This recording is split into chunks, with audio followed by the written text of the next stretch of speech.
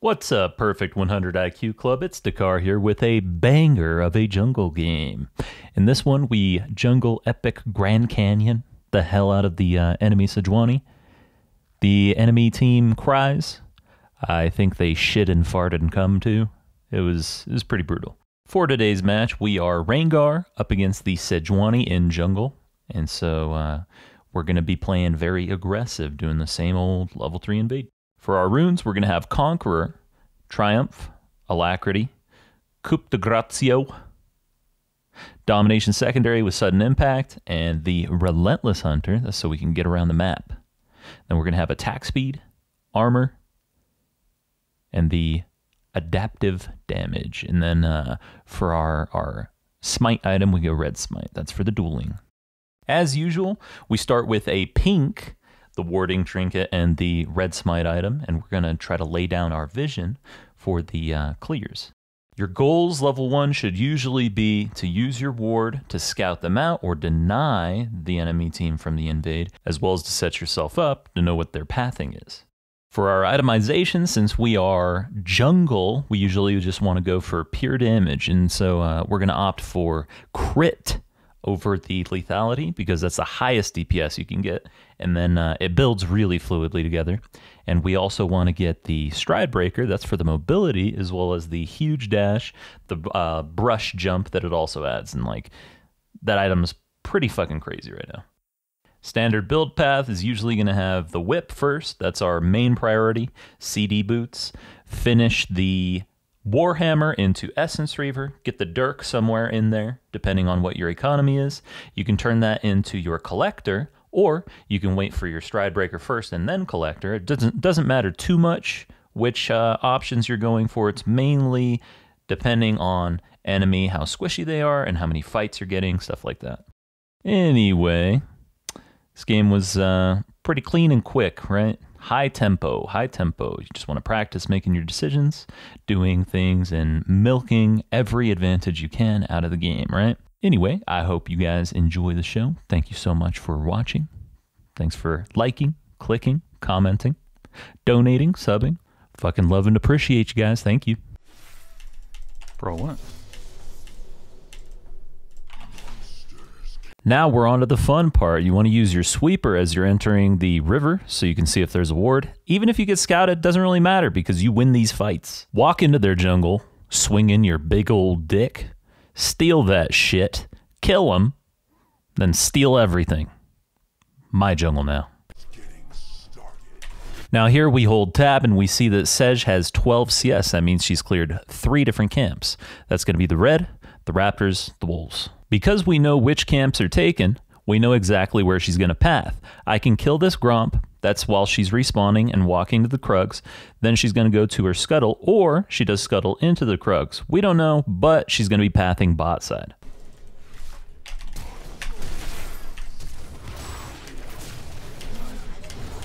Right here, she makes a bit of a pathing error. She sees me move from mid to the right side, that's to the Scuttle Crab, obviously.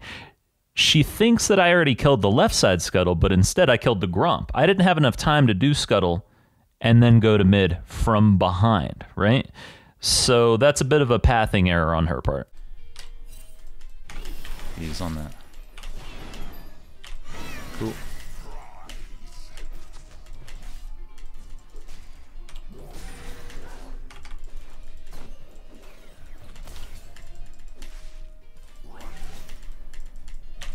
So to explain why I path to the right side scuttle instead of the left one, I want to path so that I can do a sweep starting from my bot jungle after I finish the scuttle crab upward towards the krugs where I can finish it and have a, a really fat buy. God, Sej is so lost, bro. Fucking Zac abusing idiot.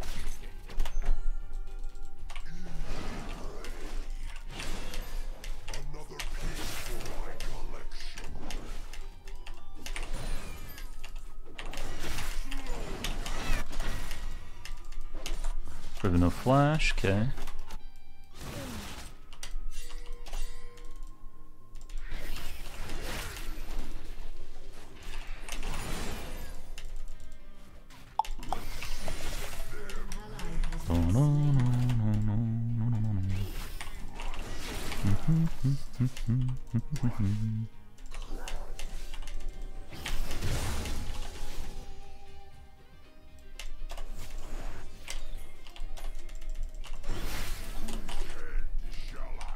So this ult mid, pretty ugly. Shouldn't have path like that because neither I or the Kassadin have flash, so we can't really force onto this uh, this TF, right? Instead, I should have just taken the Gromp. That was safe to take. Should be fine.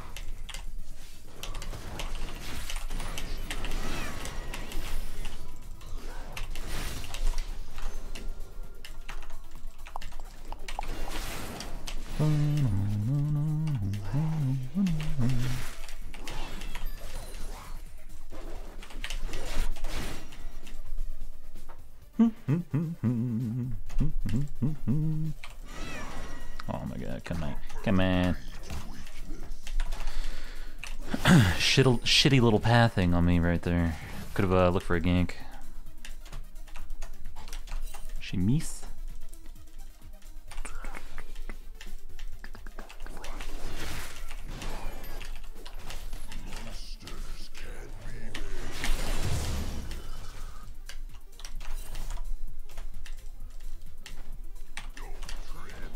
So right here, why would I tell Nocturne to get off of the scuttle? Well, I am super ahead, and I get bonus XP off the scuttle, and he doesn't need to do that. And he should be closer to me so that we can pressure either the ult to mid or to cover me if the TF and the Sej collapse. Like, I don't know. It's such a basic play.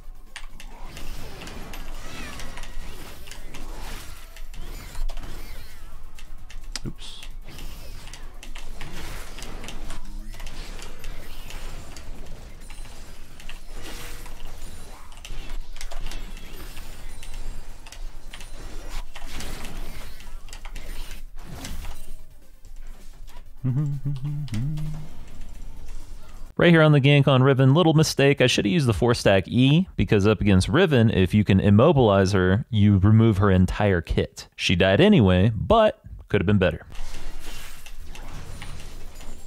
No tax. Just got TP. He's got to be careful.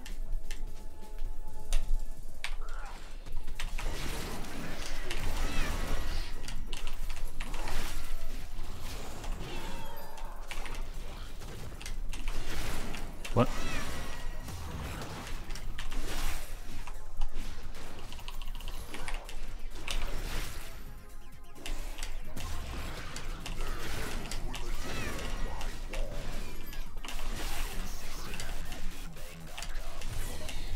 So notice I'm incredibly strong. I've got auto cancels and I'm doing it perfectly and I still take about 22 seconds to kill this Rift Herald, right? that's how weak soloing the Rift Herald is. Of course, I didn't have anything else to do. We already killed Riven, and then the entire topside jungle is gone on both his and my side, so it's it's worth it, but that's the weakness of the Rift Herald, right?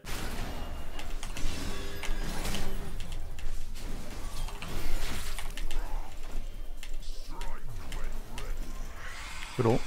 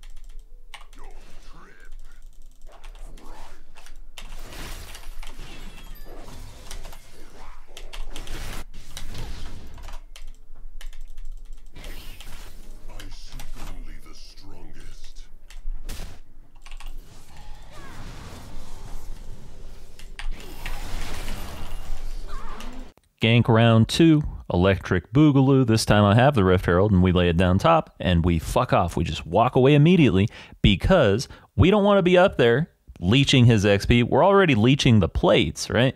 We don't want to leech the XP too. We want to kill the XP on the rest of the map.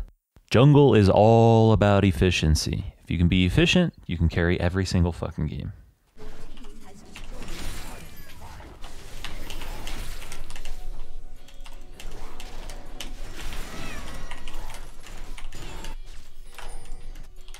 Right here, this 4v1 is a perfect storm for me. I have the plant up to jump to. I jump on that, gives me vision of the red. Jump on that, get the, the steal immediately. Fight the Sej. She tries to set up the four hits into stun, into ult stun, but it's just not enough because I've got my stacks. Then right here, TF comes through. I have my stacks up again. That's because I'm W max after the Q max. Gives me a lot of rotations as well as I've got 50 haste, which is a ton. Flash to go over the wall because we have the Morgana and the Kate, they're collapsing on us as well. I put the pink down in the brush. This is so that I have another jump opportunity later on, but also because I need to have that vision, need to see if there's any traps in there. I also need to see if there's any wards. If they were a little quicker on the rotation, if the enemy team had the ups on this, let's say TF is there maybe a second, two seconds earlier, or if Morgana is there with the Sej to secure the red, I wouldn't have been able to do this play. But because they didn't have the awareness, I get to one shot everybody and do a fucking 4v1. oh. Get his ass, baby. Careful. Run, baby, run. Run, baby, run. Stridebreaker out of there. Yeah. Get out to there.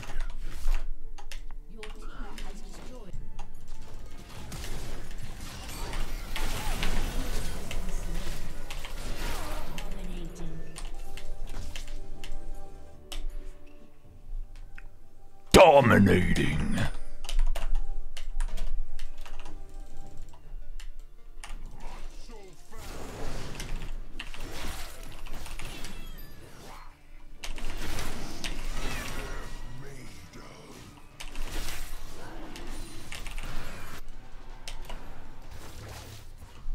Don't do that.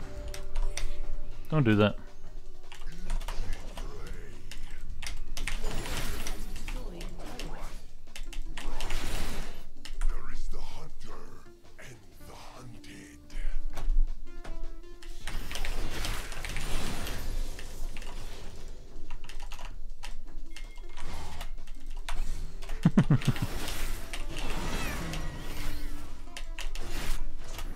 Oh, Riven's upset.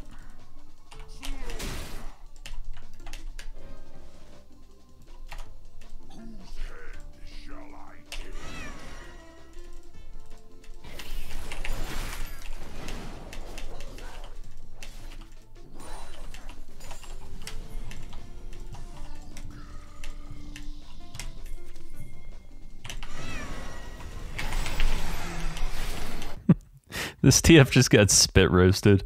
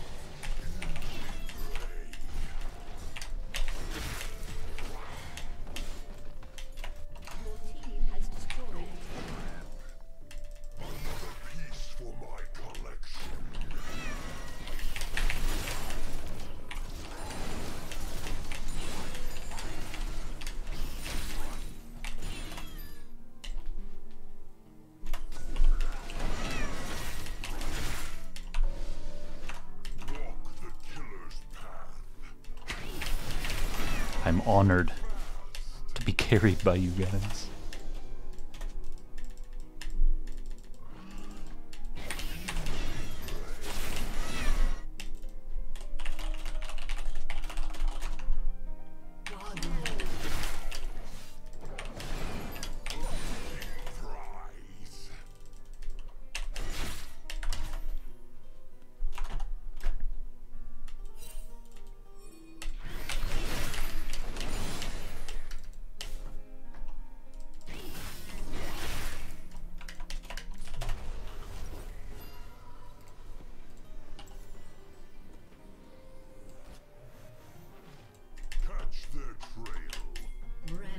Let's go punch this guy once.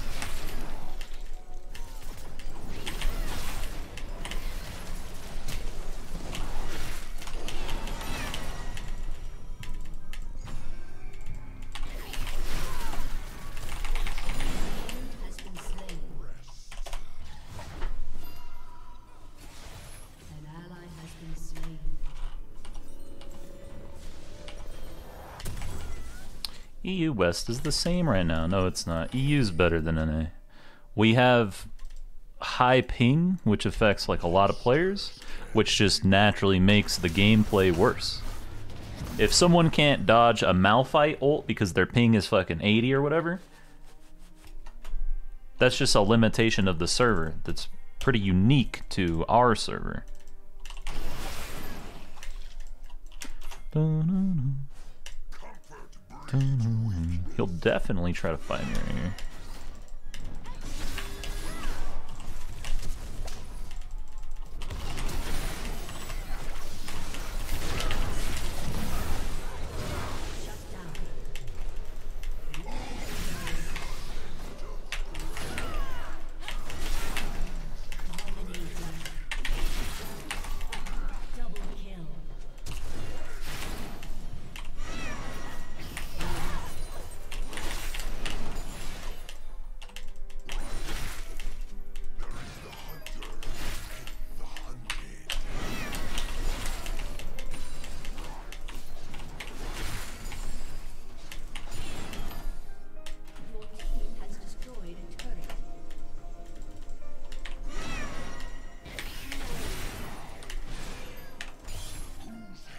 It would be dishonest to blame all the issues on, on ping, right? But ping is definitely a factor. Give me that.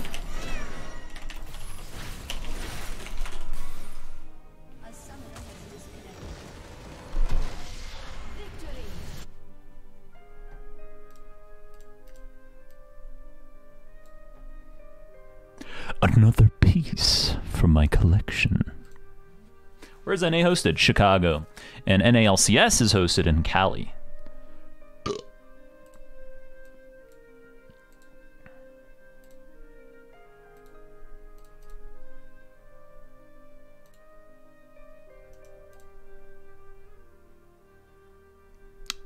Yep. Zachary Abuser. He's the Zachary Abuser.